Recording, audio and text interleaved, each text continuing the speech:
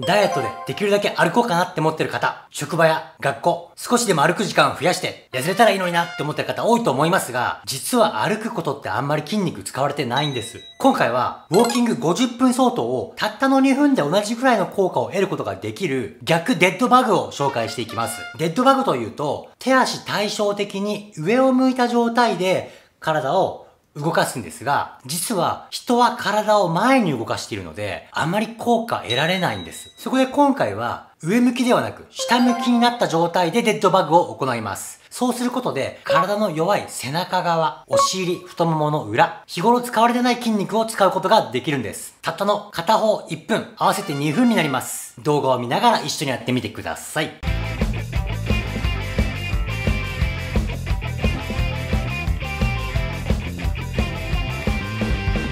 はい、皆さんこんにちは、タートルです。今回ですね、体の弱い後ろ側全体をたったの2分で使うことができる逆デッドバグを紹介していきます。ウォーキングではあまり筋肉が使われてないんですが、今回たったの2分で50分相当と同じぐらい筋肉が使われて、筋肉のバランスが良くなり、体幹が良くなり、体力がつき、痩せやすい体ができてきます。今回の逆デッドバグを行う上で、体幹と腹筋が安定していないと、フォームが悪くなってしまいます。そこで今回まずキャットバックを30秒間行って、フォームを身につけた上で逆デッドバグを行っていきます。それでは紹介します。はい。まず、体を下向きで行うメニューとしては、腹筋が使われてないと、体が反れすぎてしまって、体幹が安定せずに効果が得られません。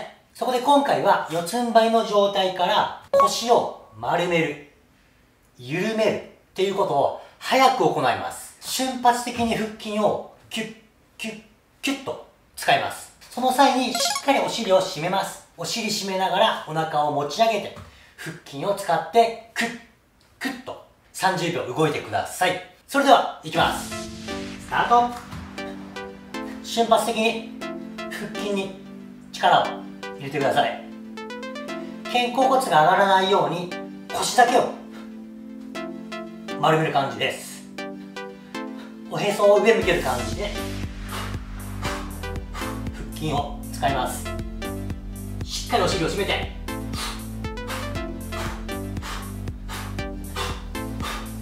あと少しです。はい OK です。今の腰を丸めるお尻を締める腹筋を締めるっていうこの3つを意識しながら逆デッドバグを行ってください。やり方としては右手を上げる。親指を上向けて、体のラインで手を上げます。そしたら左足を持ち上げます。手と足対照的に体を使います。この状態で手足を持ち上げる。そしたらさっきのキャットバックみたいにお尻と腰を締める。上げる、締める。っていうことを繰り返していきます。ペースは見ながら真似をしてください。呼吸は一往復一呼吸です。腹筋を使うときに息を吐きます。体を反らすときに吸います。これで体の後ろ側全部使うことができるので、筋肉のバランス、体幹の安定、代謝アップが見込めます。それでは、いきます。スタート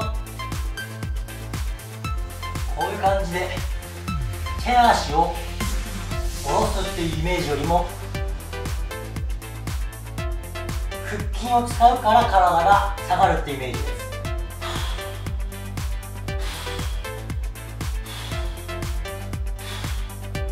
す。しっかり。手足を遠くに伸ばす感じです。体がすでに熱い。1回ずつしっかり腹筋を使ってください。長い。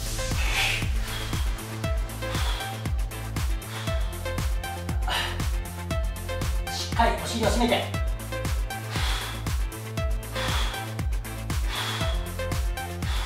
あと少しです。頑張って。OK 腹筋と体の後ろ側の筋肉が弱ってくると手足の動きがバラバラになることがあります。初めのうちはしょうがないです。それでも1分間続けてください。今度は今の反対側です。頑張っていきましょう。いきます。タート手足持ち上げたら腰を丸める。ちょっとね初めのうちはフォームが難しいかもしれませんが見よう見まねで1分クリアしてください。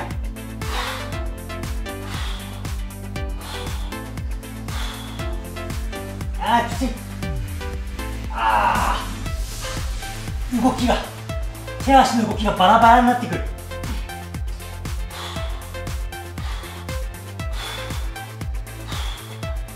つらい。頑張ってみんなも。汗が出てきた。歩くよりいいですよこれは。ああうおうおあと少し。うおきつい頑張って。ああかお疲れでした。いや今ので背中とお尻とももの裏熱くなってると思います。こんなに背中をね、ずーっと使うことってあんまりないですよね。これがね、ウォーキングよりも効果的なんです。いつも。腹筋やスクワット、プランクなどばっかり頑張ってたよって方もね、今回みたいな逆デッドバグ、今まで使ってない筋肉使った感じしたよって方はね、そこが弱ってた証拠です。しっかり、このエクササイズを何度も動画見ながらやってみてください。最後まで2分間頑張ったよって方はね、優秀です。お疲れ様でした。グッドボタンとコメントで感想を教えてください。各種 SNS もやってますんで、よかったら説明欄からリンク見てもらってフォローしておいてください。今回もご視聴ありがとうございました。